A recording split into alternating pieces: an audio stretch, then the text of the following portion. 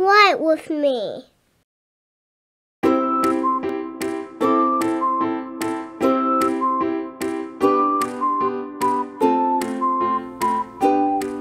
Hey there, friend. Welcome back to Write With Me. Today we're going to write the great name Vivian. Is your name Vivian? If it is, you have a really cool name, and I'm really happy you're here to learn how to write it with me today. Vivian is spelled V I V I A N. Now let's get started. The first letter in Vivian is the very vivacious violin V, and it's the first of two violin Vs. Start with a diagonal line down, then keep your pen there and diagonal right back up to complete that V. In between the two violin V's is an iguana eye. And I like to draw my eyes with a straight line down, then a left to right hat at the top, then a left foot and a right foot down at the bottom. The next letter in Vivian is another violin V. Diagonal down, diagonal right back up, and you've just drawn your second V. Let's draw one more iguana eye.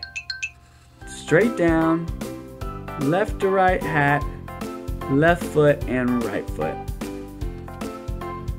Two more letters in Vivian. The next one is the alligator A. Draw your alligator A with the diagonal line up, then do another diagonal line down. Close up that alligator mouth with some alligator teeth to complete your A. The last letter in Vivian is the ninja N. Ninja N start with a straight line down, come back to the top, diagonal down to the bottom, come straight back up, do another straight line down to complete your N. You can also draw N's wild style. Watch this. Never take your pen up off the paper. It's just a zigzag zog. Great job today, guys. Look at this. Look at this. V-I-V-I-A-N spells Vivian. Great, great job today. You should be feeling proud.